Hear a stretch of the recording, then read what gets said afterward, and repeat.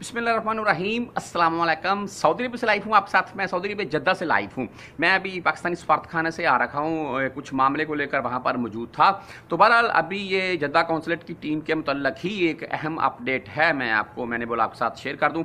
आपका इकामा ख़त्म है, हरूब है, मतलूब है, या आपके कफील इकामे नहीं लगा रखा है? कफील ने आपसे पैसे ले लिए, खा गया है। आप इनमें, आप ये जो भाई कौंसलेट की टीम है जद्दा की, इनसे मिल सकते हैं अपने मसाइल के हल के लिए। चाहिए ठीक है? आपको कोई भी किसी किस्म का मसला है, इनसे ज़रूर मिलिएगा, अपने मसले का हल पूछिएगा, या तो वहीं पर ये बोलेंगे कि आप ऐसा करें, ये पेपर जमा करवाएँ, ये करें, वो करें, या आपको बेहतरीन किस्म का मशवरा दिए एक खुद से लड़का एक पाकिस्तानी देख के आया हूँ जो अंदर भाई उनसे एक मसला था उसे वो पूछ रहा था। मैं भी मसले की सूरत में ही मौजूद था।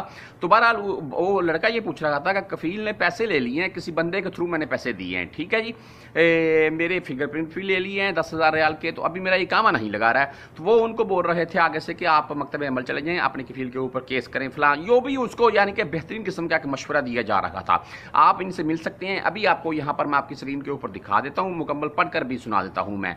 Counsellor general of Pakistan, Jeddah Milan counsellor team की मदीना मुनवरा में आमद। आप मदीना मुनवरा में हैं या मदीना मुनवरा के कहीं भी नज़दीक हैं तो आप इनसे जाकर मिल सकते हैं। तारीख चौदह तो पंद्रह जनवरी है जी, दो हज़ार बाईस, बरोज जुमा और हफ़्ता। जुमा मुबारक चौदह जनवरी को भाई, जो अगर बात करें तो सुबह साढ़े आठ से साढ़े ग्यारह बजे तक ये लोग बैठेंगे और दोपहर ढाई बजे से पाँच बजे तक शाम, यानी कि पाँच बजे तक बैठेंगे।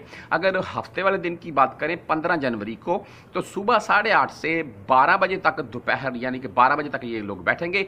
मुकाम मदीना मुनवरा में, पाकिस्तान हाउस मदीना मुनवरा, रबता नंबर आगे लिखा हुआ है इनका। आप पढ़ सकते हैं खुद से भी।